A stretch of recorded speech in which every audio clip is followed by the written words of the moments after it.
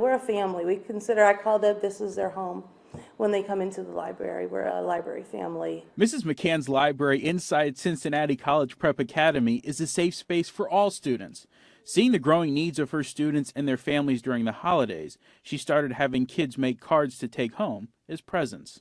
I got to thinking um, before last year, before Christmas started, that, well, what if we took it up a notch? What if they were able to actually give their um, their family something? And that's how the Christmas store inside the library was born. She reached out and asked for donations, and students then shopped around the store for gifts. And we set it up like a real store. So it's like they're actually coming in and shopping, and then we give them that time to um, just to look around and like, oh wait a minute, I want that. No, I want that instead. Last year they gave out 1,300 presents.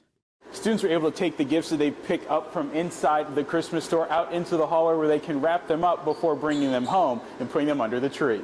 Everything from lotion to hot chocolate kits to jewelry. She's hoping more donations will come in ahead of the store's opening next Friday. This is something I want our students to be able to take with them as they grow. I want them to be able to remember doing this and maybe later as they're adults, young adults, this is something that maybe that they can do for other people. In the West End, Tyler Madden, Local 12 News. You can always get local stories right here on YouTube, but go ahead and hit that subscribe button to get notifications to stay in the know.